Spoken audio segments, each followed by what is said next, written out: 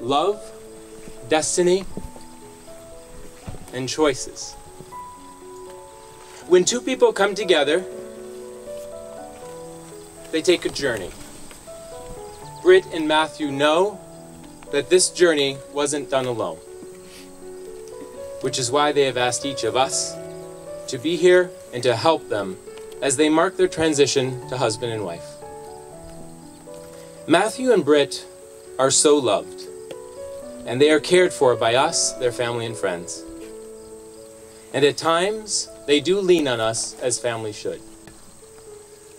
It is our care and support of them that creates this temple which they believe is essential for this day and all of the days ahead of them. It is through our shared time together as family and as friends which makes our collective one big family. And as family, we wish for them to experience a life together which is filled with joy and contentment, a marriage filled with love beyond measure. Britt and Matthew, we are your temple. We are unconditional love for the days and the years that you have ahead of you. So, about this day. This day is definitely about love, so everyone should just prepare themselves for an overload of love. Britt and Matthew see this day and how it was paved by destiny and choices. At the very core of this day is their belief in one another and the lesson that they are better off for all that they have let into their hearts.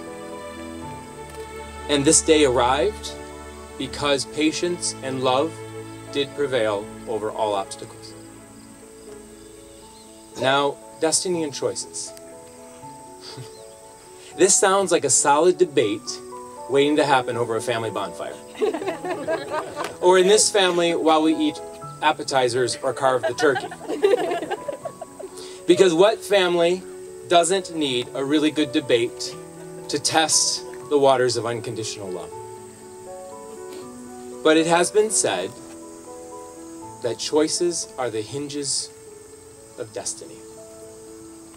Should we choose intuition or, or maybe a life lesson to guide us and we go down a path, we go in a direction.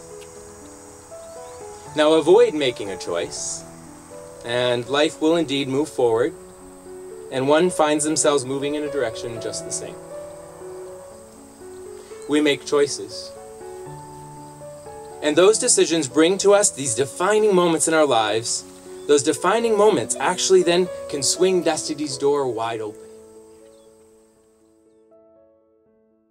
Matthew Russell Kramer, my love, my almost husband, and my one and only PIC. Today and always, I vow to trust you and respect you as your own person, to remember that your interests, desires, and needs are no less important than mine. I vow to be honest and transparent with you and to continue to work on being patient and understanding. I vow to always encourage us to experience new things and explore new places. I vow to love you when it's easy, when it's hard, when our love is simple, and when it takes great effort. But most of all, I vow to be worth it. Worth the time, worth the adventure, worth the energy, and even the frustrations. I promise to be worth your love, that you will always count, and that for me, you will always come first for the rest of our days. Share your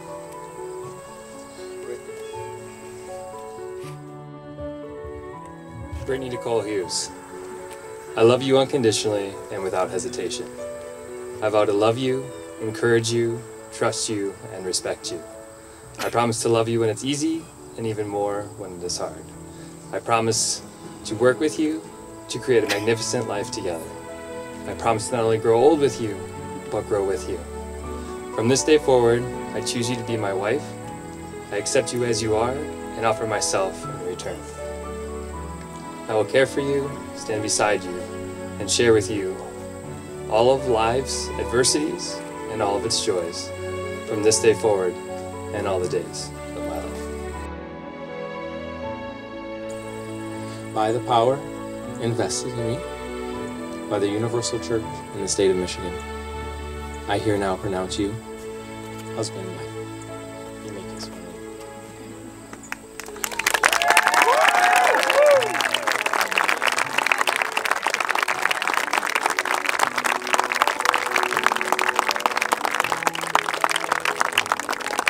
Ladies and gentlemen, I present to you for the first time Mr. and Mrs. Matthew Kramer.